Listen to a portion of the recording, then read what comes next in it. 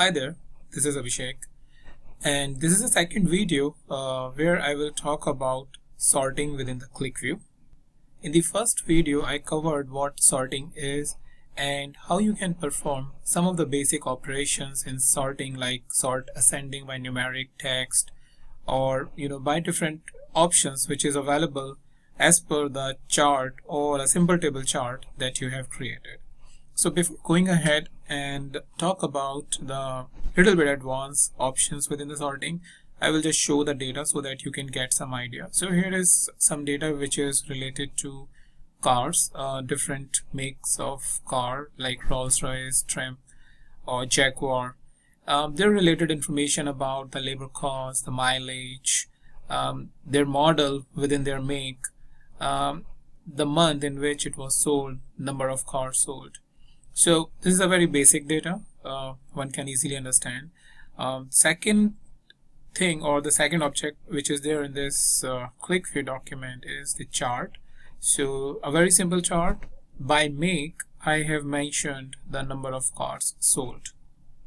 So right now uh, the data is uh, not sorted by uh, any of the parameter or by any of the option which is available so for example if I simply wants to sort alphabetically which I showed you earlier also uh, very quickly I'll go in sort and I can say sort by text and apply.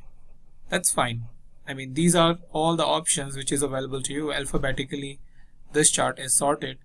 But the problem arises whenever you have certain custom sorting uh, that you need to achieve. For example you want MGB as the first option. After that Aston Martin should come. Jaguar should go a little bit down in there in this chart. And uh, that's where you need to make use of a couple of functions or a couple of options uh, within which these kind of custom sorting or custom ordering of data is possible.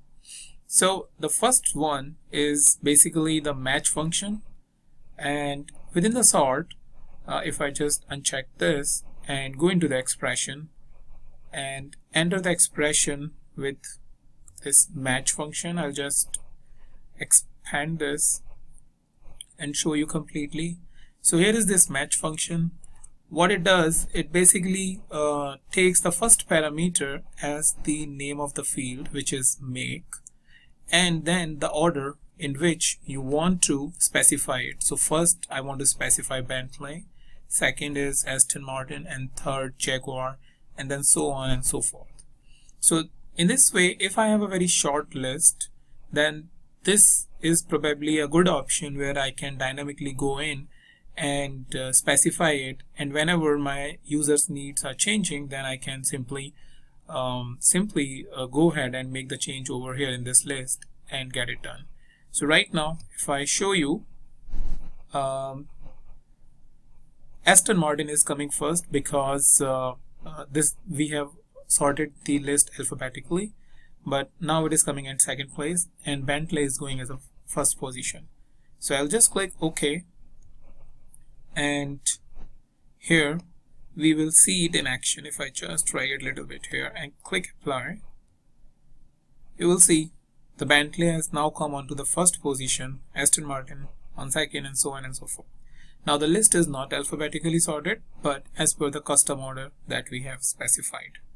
So that's the first thing that we can do uh, over here.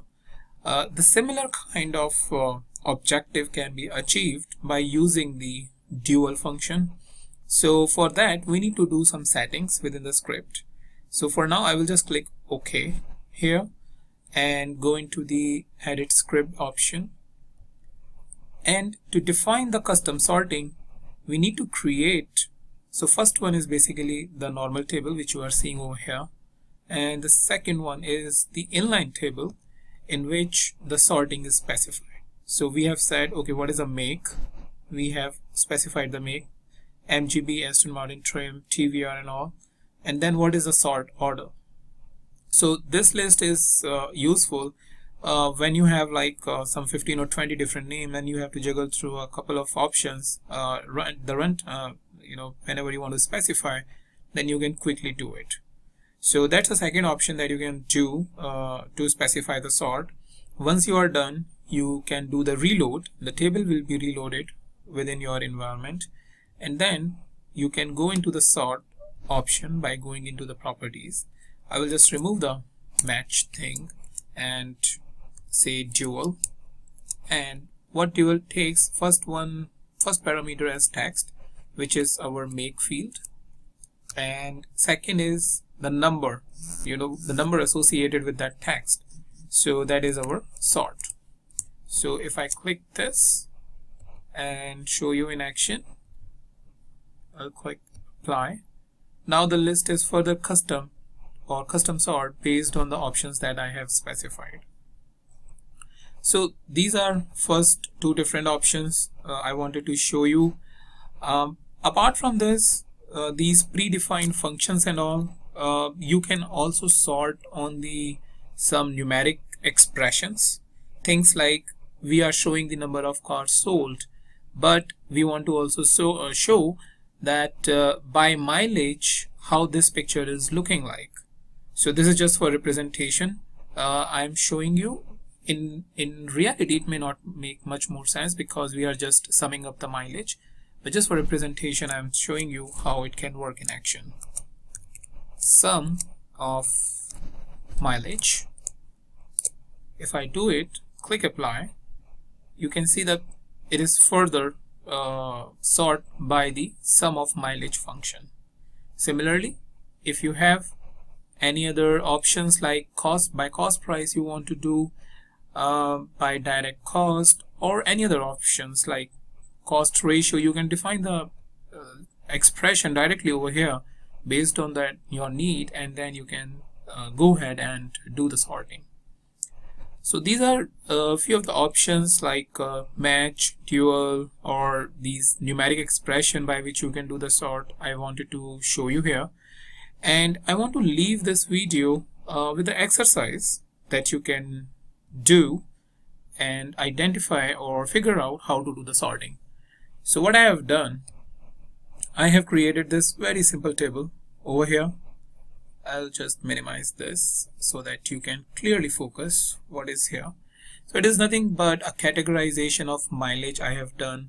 So here it is saying if uh, mileage is between 0 to 50,000 as per this field then what is the um, you know the count of model model count by mileage. So where is model? This is the count that I have taken. So in 0 to 50,000 how many count of model coming? Then 50,000 200,000 100,000 250,000 that means uh, there is a break of uh, a cut of 50,000 now if you see this data uh, it is not properly sorted. It's because after 100,000 150,000 should come but 250,000 is coming. So I want to leave this video to uh, to for you to figure it out how you can sort this and uh, do a right metric representation for your end users. So that's pretty much all. I look forward to see your answers and uh, maybe after a couple of days I can post the answer of this uh, this query or the scenario Till then, uh, happy clicking and uh, I'll see you in the next video with a new topic. And uh, before leaving, just quickly, you can find the data of this uh, uh, exercise within the uh, description section of this video.